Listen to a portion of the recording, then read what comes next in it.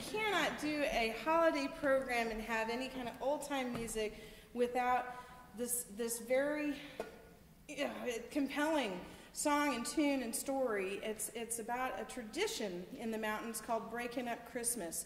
And during the Christmas season, uh, especially in, in the Appalachian Mountains, East Tennessee, West Virginia, the Virginia, um, uh, and, and the, the Carolinas, people who are living out in the woods and maybe had several miles in between cabins and in the covered snowy woods, they would they would travel during that Christmas season, and maybe a whole family would go visit another family, and they might have a fiddle and a banjo if they were lucky, and they'd show up at their friend's house, knock on the door, and said, "Hey, well, happy Christmas! We're breaking up your Christmas, We're having and a party."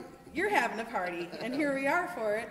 Let's have some music and roll up the rugs and, and have a midnight supper. And, and this tradition is something that's been going on for a long time.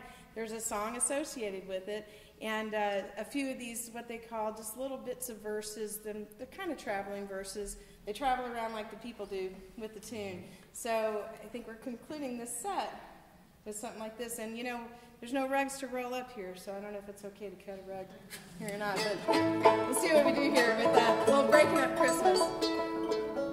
All right. Got started with the taters. Yeah.